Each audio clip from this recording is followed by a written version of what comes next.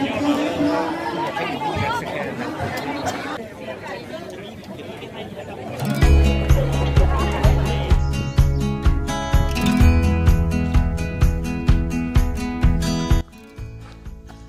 งมาจากดอยปุยนะครับกำลังเดินทางไปบ้านมงหมู่บ้านมงดอยปุย เดินทางมา 12.5 กิโล เกณฑ์1,300 จากระยะทั้งหมด 92 กิโลเมตร เกณฑ์ทั้งหมด 5,000 ครับ โอเค ไปต่อแล้ว